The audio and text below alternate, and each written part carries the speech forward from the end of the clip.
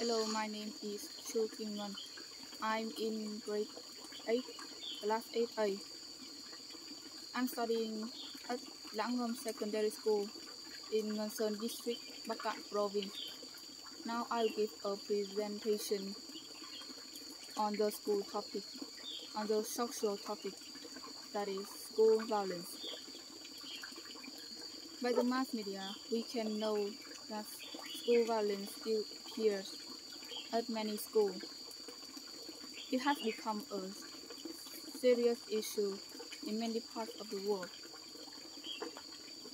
School violence has taken many many types like physical, verbal, emotional abuse and cyberbullying.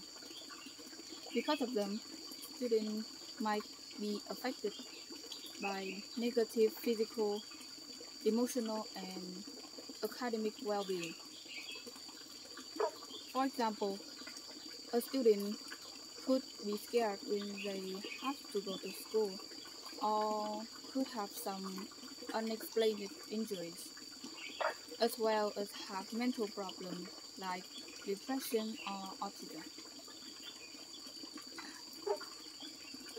In some cases, they even try to commit suicide as a way to free themselves from school violence.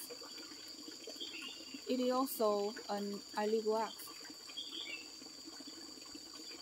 And students who are bullies may have deviant thoughts and distorted personality.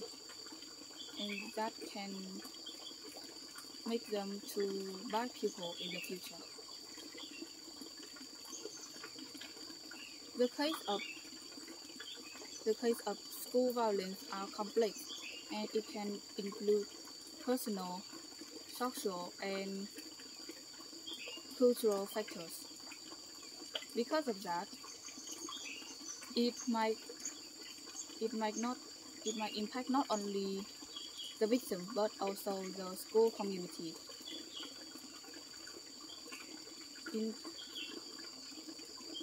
the school community, including teachers, staff, and other students.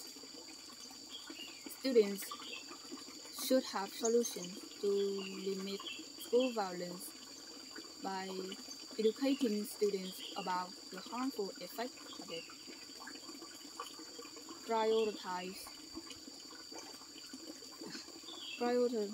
prioritize, creating safe environment for students through policies, programs, and practice. Parents and caregivers could also help prevent school violence by promoting positive